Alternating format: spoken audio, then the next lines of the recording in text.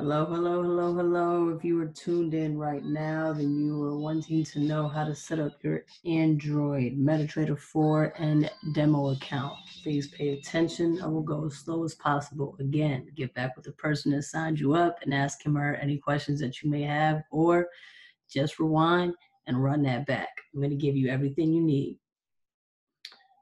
Do this quick.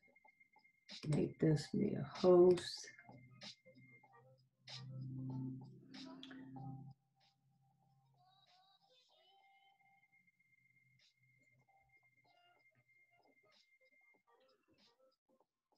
All right, so the first thing you want to do is download MetaTrader 4.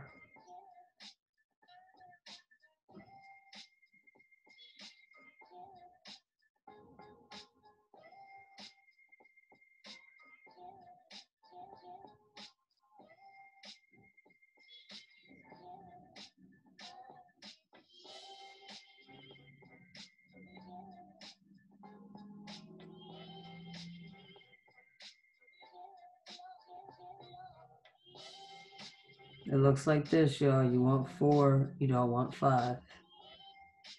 Now, I already have it. If you do not have it, download it.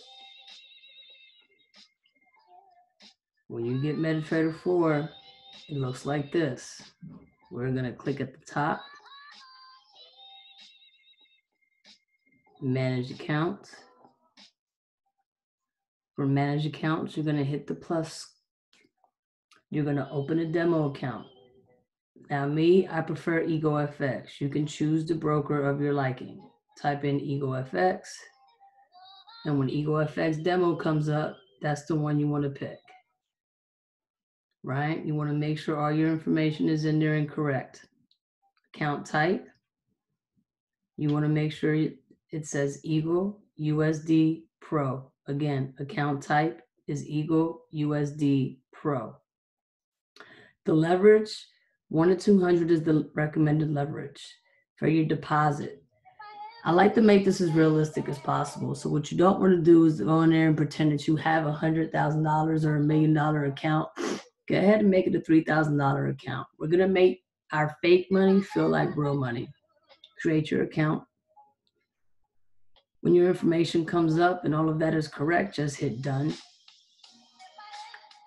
And now this is what you have stuff that looks like a language you can't read. And that's okay. You'll be able to read all of this soon. Hit the plus button at the top.